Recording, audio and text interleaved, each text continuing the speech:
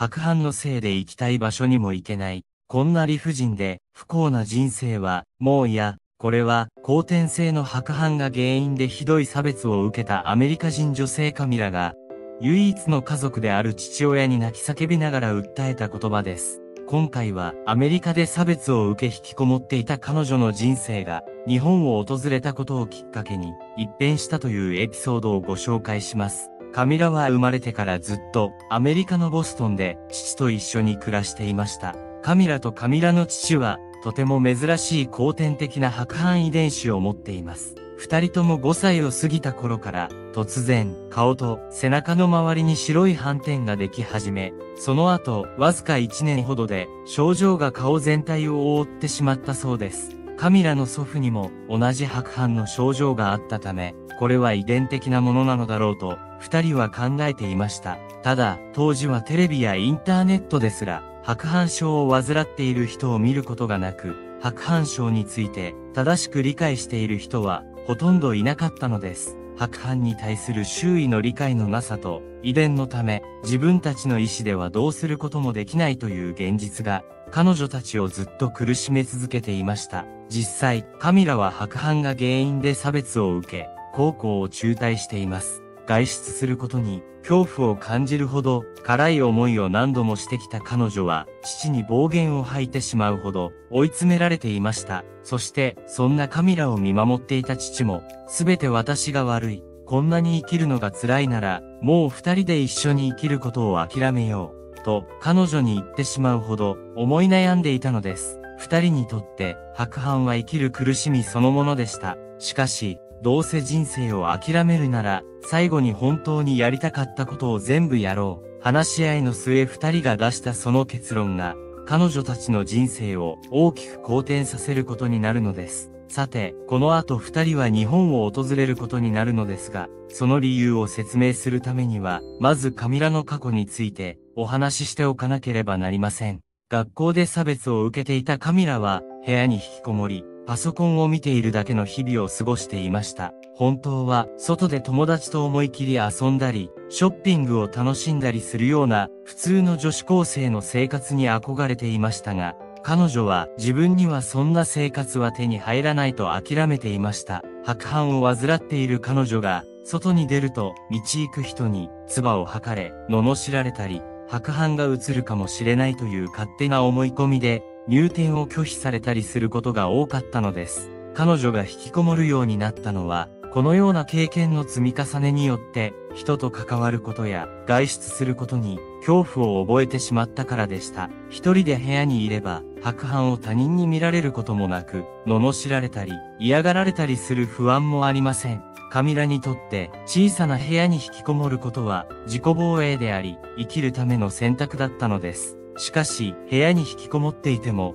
カミラの心が完全に休まることはありませんでした。ある時、二人が暮らすボストンの小さな村に、ひどい噂話が流れ始めます。それは、二人は村全体にわざと白斑を移して回っているという内容で、やがて、すぐに村を去るべきだという、署名運動まで起こされてしまいました。村に居場所がなくなった二人は、こうして他の土地へ引っ越しを余儀なくされてしまったのです。ところで、そんな辛い環境の中、カミラが唯一楽しいと感じることができたのは、自室のパソコンで日本のドラマを見たり、好きな日本人アイドルのコンサートを見ながら応援したりすることでした。カミラは本当は人と関わることが大好きでしたが、顔に白斑が現れてからは、誰も自分を受け入れてくれなくなってしまったことが寂しかったのです。日本のキラキラしたアイドルたちの笑顔は、そんなカミラの心を癒し、彼らを応援することはカミラにとっても生きる希望となったのでしょう。カミラは好きな日本人アイドルのグッズを全部集めるほど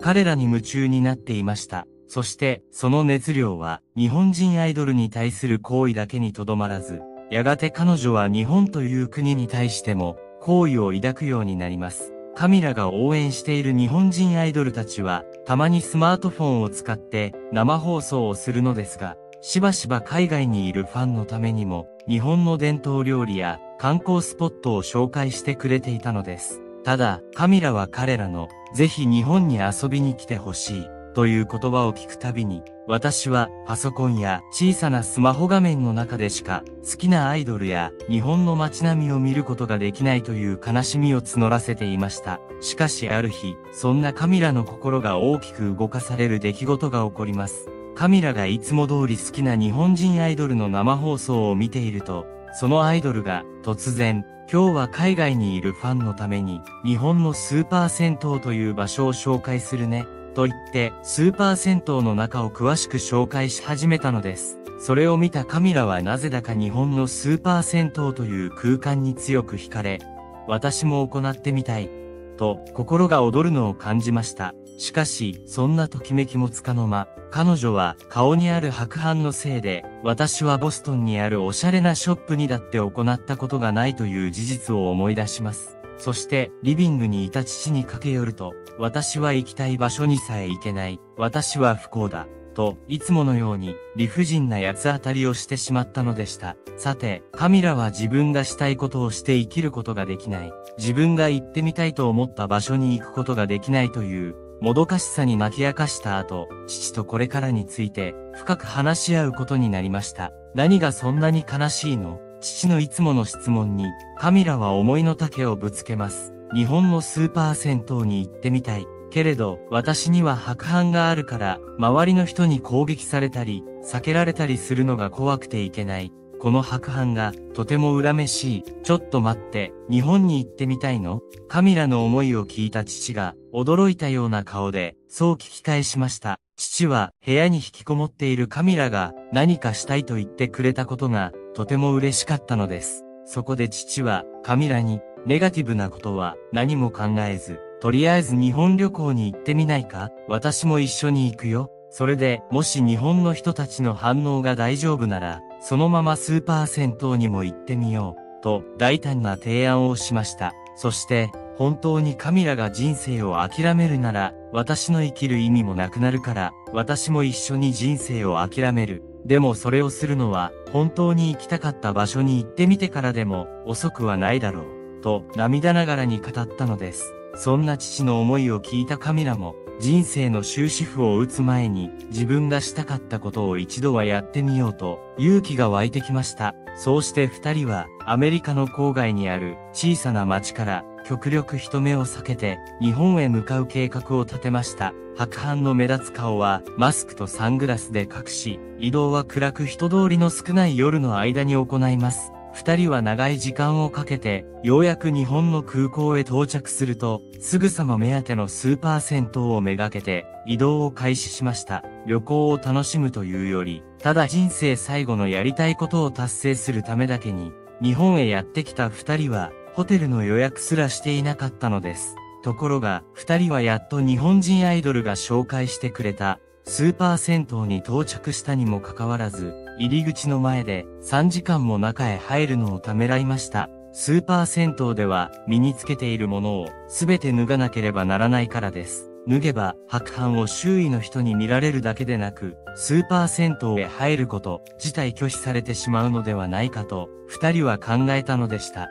しかし、ここに来るまでの苦労と、もはや帰る場所もないという状況が、二人の背中を押してくれました。二人が入店するとすぐに、スーパー銭湯のオーナーと思われる、日本人女性が、鍵と服をこちらに差し出し、更衣室の場所を案内してくれました。しかし、アメリカにいた頃のように、追い出されなかったと安堵したのもつかの間、二人は、後ろからオーナーに呼び止められます。カミラは凍りつき、結局、ここでも追い出されるのか、この世界で私の居場所は狭い自分の部屋だけなのかと絶望しました。ところが、恐る恐る振り返ったカミラにかけられたのは、オーナーの荷物がとても多いですね。一緒にお持ちしましょうかという優しい言葉です。空港から直接スーパー銭湯へやってきたカミラは、自分の体と同じくらいの大きさの旅行バッグを持っていました。オーナーは、そんなカミラの姿を見て、運ぶのを手伝おうとしてくれたのです。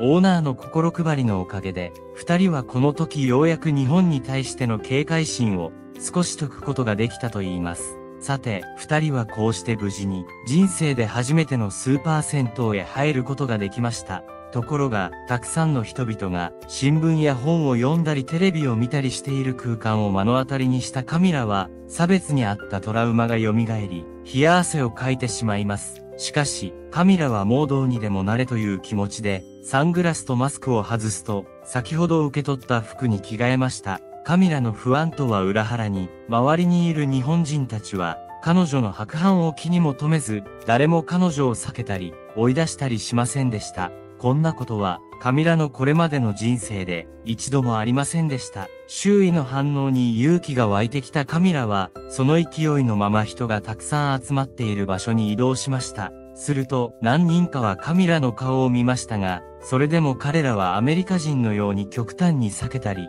軽蔑したりするような表情を見せることはありませんでした。カミラはその後、すぐに父と落ち合いましたが、周りにいる日本人のように、二人であぐらをかいて座っていると、彼女はまるで自分の顔から白斑が消えたように感じたと言います。ところで、二人が驚いたのは、日本人は誰も自分たちを避けたりしないということだけではありませんでした。避けないどころか、近くにいた一人の若い日本人女性が、スマートフォンの翻訳アプリを使って、カミラに話しかけてきたのです。どこの国から来られたのですか？すごく可愛いですね。ここのラーメンは美味しいので、とてもおすすめです。新しい環境に緊張していたカミラにとって、この女性の行動はとても大きな自信になりました。女性はカミラがつけているキャラクター物のブレスレットを見ると、さらにこう続けます。私も子供の頃にそのキャラクターが出るアニメを見ていました。カミラはこの時、人生で初めて心の通じ合う友人ができたような気がしました。